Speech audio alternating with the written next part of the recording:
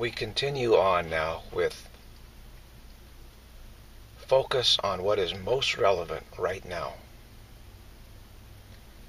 The theme for this particular video will be resist not evil. Resist not evil. We've all heard that. It's, a, it's the core teaching of, of uh, Jesus Christ, the core teaching. Resist not evil, love your enemies, forgive, forgiveness. We've heard it all. It's become enculturated. But over uh, the last 400 years or so, especially the last 50 years, which is process has accelerated where we've lost the context of that. We've lost the relevance of it. We cannot see how it applies anymore. That's that's on purpose. There's been a tremendous effort by those who would who see existence as a situation of either cooperation or dominance, but they're both actually two sides of one coin, which is that you are a human being and this universe is your home and you have no place else to go. And you must uh, it's a humanistic philosophy. We either you know cooperate together as humans or we set up a system where there's a an elite dominant leading faction that decides what is right for everybody else but it's still exactly the same basic premises okay? Teachings of Christ reject those premises entirely. Their funda- the fundamental premise of these teachings is that this universe is not your home. You are not a human being. You do not have to stay locked into that false belief system, and there's a way to get free of that false belief system. So that gives us all tremendous hope. And the core of that teachings of Jesus Christ is that resist not evil. Okay? Love your enemies. That's the core.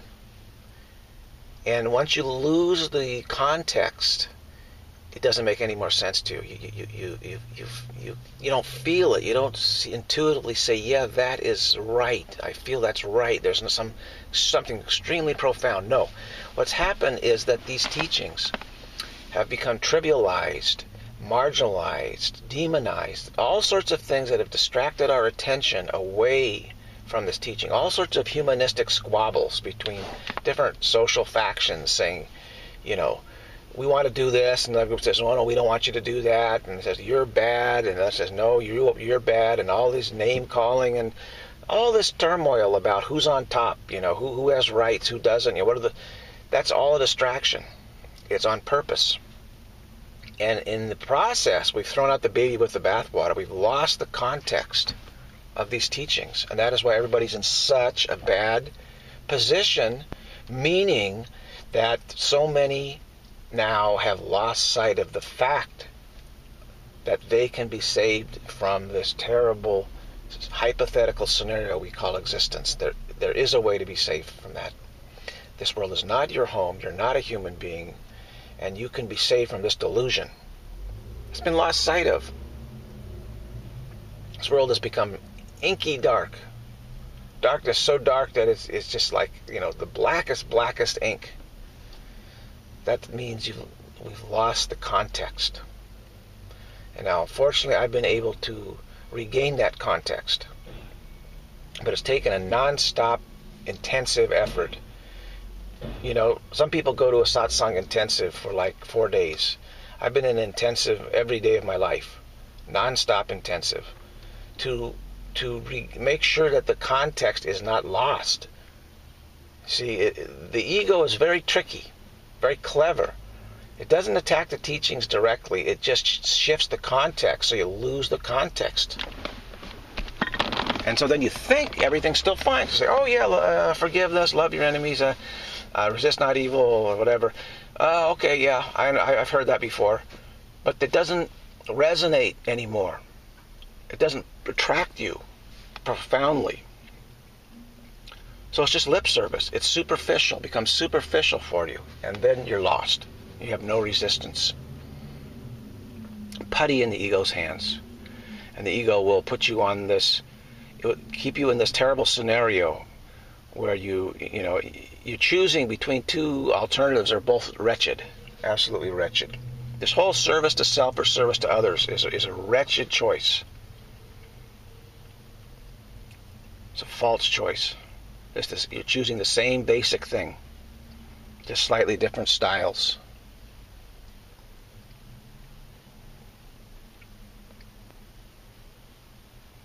Same car, maybe a different paint job.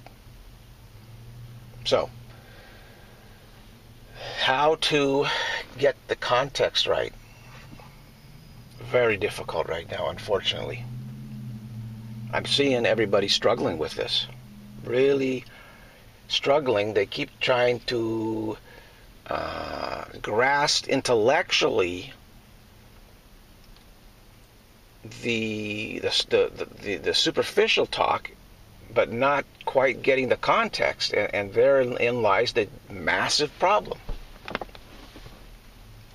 So I can say, resist not evil, and people say, yeah, I don't know what that means. You know, I, don't, I really don't know, understand that at all. And then that there you go. Then how can I understand that intellectually? Well, there's something deeper than intellect. There's something profound. There's something intuitive. And you have to trust that feeling within you. And we've been told not to trust that, that somehow that makes you bad. Because somehow you need to validate the humanistic position. And if you don't validate the humanistic position, that somehow you're guilty or wrong. And so, of course, your in- intuition does not validate the humanistic uh, perspective at all. It says it's totally delusional. It's a lie, it's a, it's a deception. so, we've been taught not to trust our intuition, not to trust our deepest feelings. It's funny that we have all this, had all these movements saying you must trust your feelings, trust your emotions, etc. And the, the, the mind is bad, you know, the right brain, left brain battle, who, you know, what's right, and say trust your feelings, emotions. But as soon as you start trusting your deepest intuitions, then suddenly the, the ego jumps up and says, "No, no, no, no, no, you're crazy." You know, we didn't we didn't mean to trust those feelings. Only the feelings that we tell you to trust you're supposed to trust. And that's what's happened. The fact is, your deepest intuitions will lead you to truth. And they're there. They're there. It's just that you, you know, you, if you don't trust them, then you're you're in deep water. So, of course, the purpose of these videos is to encourage you say, yes, you can trust your deepest intuition, your deepest wisdom. Absolutely trust it. You're not alone in doing that. You're also not alone in feeling resistance. There's enormous resistance here on this planet. Very bad situation. So if you feel there's a struggle, yeah, that's that's normal for these times. But you have to accept the situation as it is and say, okay, I will not be defeated by this. I will not succumb to this. There has to be a way. Unfortunately, there is a way. And what these videos do is they reacquaint you with this way, and it's something that you don't expect. Okay? What it does is it re- it reestablishes the context. And paradoxically, it's a very tricky thing, but you, you can hear it, you can listen to it, and, and, and get some, some intuitive response to it. The way to be saved is instead of trying to change the world and rearrange all the things in the world, what you do is you change the context in which you view the world. And the context in which you change, in which you view the world, is one what's called forgiveness. That's just a very broad term. So I'm sure you're saying, well, you know, forgiveness, I've heard that a million times. It's like saying love. You know, what does that mean? Nobody knows what it means because we've lost the context uh, of this. We've lost the context of shifting context. We're all focused on the content. And we have been totally bamboozled and tricked into thinking that working with the content of the ego's belief system, somehow we can be happy. We cannot only by shifting the context, by saying it's the context that's all important, and that can be changed. That's the only way you can be saved. The only way you cannot do it by trying to fiddle around with the content. And the context that you need to accept, we all do, is what's called forgiveness. What does forgiveness mean? This is the, the important clarifications that have to be made. What what is forgiveness? Forgiveness means that instead of saying, well, someone did something bad to me, and then I say, well, that's okay, I forgive you, blah, blah, like that, that's not it. That's content. The context that you need to look at is that forgiveness means to allow whatever happens in content wise to set that in a context of endlessness, of endless being,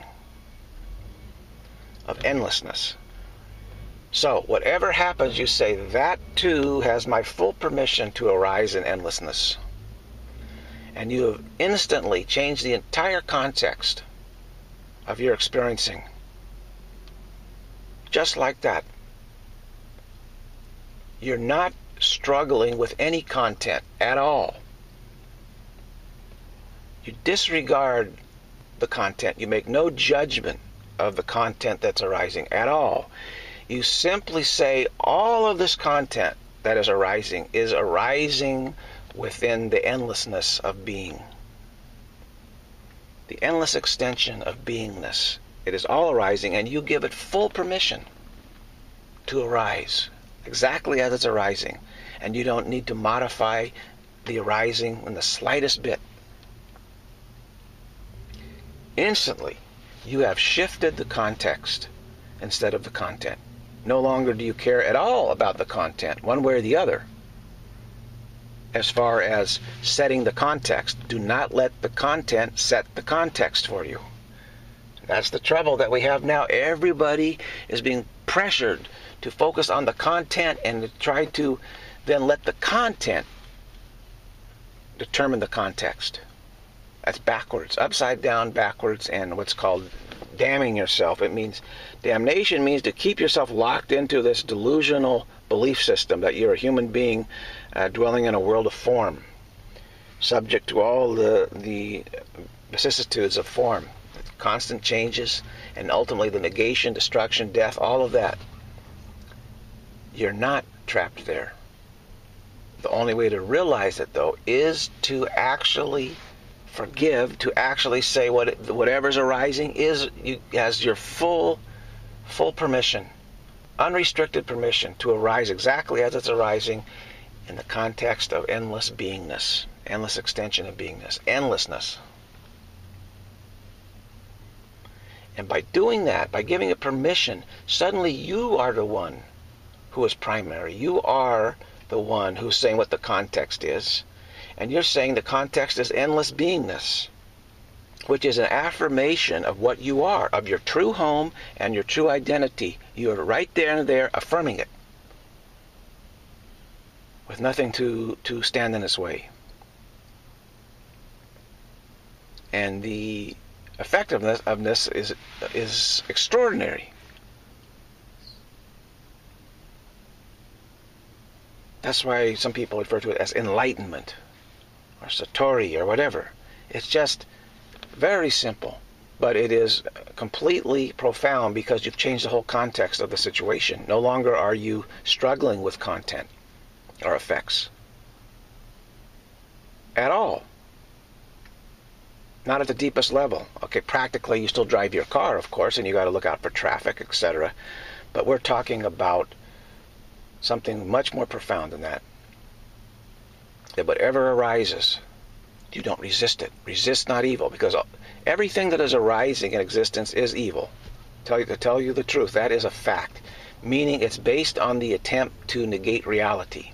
That's what evil means. It's the opposite of, of uh, live. L-I-V-E and then E-V-I-L.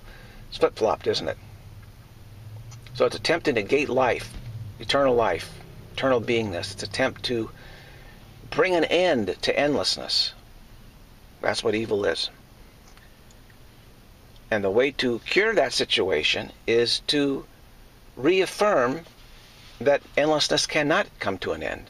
And you do that by welcoming in everything an endlessness, including the attempt to end it, and say, oh, okay, I give full, full permission, for the presence of the attempt to end endlessness to arise and be present endlessly in endlessness. You see, you've completely then flip flop back into the right position, and the attempt to end endlessness has lost all all juice, all power over you. You're liberated from it.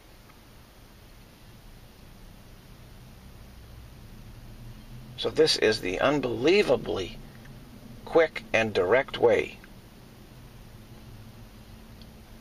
to reach the goal that you truly want to reach and need to reach, which is reaffirmation of what you are and what your home is. Your home is the endless extension of beingness. And that is also your identity, one and the same. Wherein all arising is inherently transcended by the endlessness. So there's no reason to get rid of anything to, to struggle with anything because it's already inherently transcended by the endlessness of beingness, the endless extension of beingness. So by making these affirmations, you're taking a different approach than the world is taking. You're immediately released from it. Now, we may not experience this effects of this release immediately because we're still kind of waffling a little bit but the, the, the premise is there. You understand that yes, by going in this direction, you will certainly be released from it. Released mean, meaning you're no longer in the slightest bit bothered that it's there, that it's arising in endlessness, because it has, has no power to end endlessness, because you are giving it permission. Endlessness itself is giving it permission to arise. So how could endlessness be, be come to an end? You you only believe that endlessness can come to an end when you are arguing within the realm of content, where you're getting into all these social discussions over who the bad guys are and who the good guys are. And uh, that completely distracts you from your salvation. And you're going to get nowhere by doing that. Because you're not affirming your identity or your home at all. You're battling over all this rhetoric and judgment, which has no place at all in reality, because nothing needs to be judged. Nothing is threatened. Reality is not threatened in any way, so why do any judgments need to take place? Happiness isn't caused, it's inherent in reality, it's causeless. The way we feel in reality is causeless. It's without a cause other than Prime Creator establishing it as such. But we don't have to do no nothing. Nobody has to do anything to cause joy, bliss, freedom, happiness, security, safety, feeling uh, uh, uh, of peace, perfect peace. That's inherent in our identity and in our home. It's causeless. We don't have to do anything. So, what are we arguing about? Think about that. What are we fighting about here in this world? What do we expect to gain from that? We already have all the qualities that we're seemingly fighting over and blaming others for for, for somehow causing us uh, to unhappiness. All the protests in one way or the other, and struggles here, competition, etc. We're we're fighting, trying to desperately get what we already have all of it, causelessly. And therefore, what can we do to earn it? Nothing. All we do, need to do is affirm it that we have it. Just reaffirm. Stop. As, as long as we're trying to fight for something, we obviously are deluded about what we are. We're not aware of what we are. We're not aware of what our home is, which will keep us uh, struggling and clawing in existence, which we don't want to continue on with.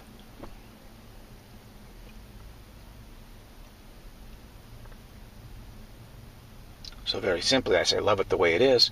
In other words, forgive everything, allow everything to arise unobstructed by your judgments, by any judgments at all, good or bad.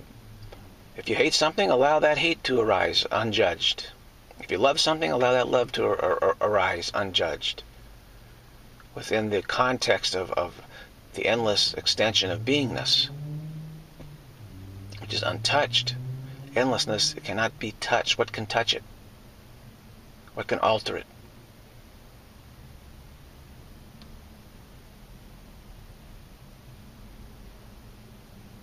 So establish that as your context, and then you realize that none of this, nothing touches you. You're not altered. What you are cannot be altered. Cannot be harmed in any way, cannot be changed, cannot be corrupted. It's invulnerable. Endlessness is invulnerable. And that, but it has to be affirmed in the right way, which is forgiveness. It's not an intellectual thing. Sure, you, you, you can involve divine reason, which is above the intellect. It seems similar. Still uses words and concepts, but it's a seeing. And you can see that this is so. You can know from a mental standpoint, you can see it. But then you have to go further and affirm it. And that's, that, that's the aspect of will, which is higher than the aspect of what we call mind because will comes from, from the aspect of spirit. Mind is a servant of spirit. Spirit is, is primary. Spirit decides. It's will of spirit. What do I want to experience? What do I want to arise in endlessness? And unfortunately, spirit wanted to wanted it wanted to have the end of endlessness arise, so it could be prime creator. But it's really just been wasting its time because everything that's been arising, this so-called end of endlessness, is still just arising in endlessness. Nothing has changed. Nothing has changed. So this needs to be affirmed. So whatever arises in your situation, you can start practicing it right where you are, right this instant, right during the day. Whatever happens, you say, yeah, I, I give full permission, full allowance for this to arise within the endlessness of my being unjudged, unmodified, exactly as it's arising, including my faulty per my perception of it. You don't have to try and change your perception of anything. You don't need to change the content of your personality, the content of your perception, the capability of your perception, your friends, your location. Nothing has to be changed or altered at all. And that includes your attempts to alter everything. That doesn't have to be altered either.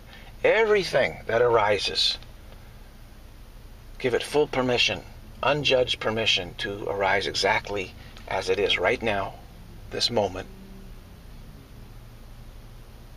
in the endless endlessness of your ex, uh, the extension of being, which is what you are. You're, we are an extension of being. Prime Creator created being and then extended it, and we are that extension. We are spirit, the extension of being, and that extension is endless.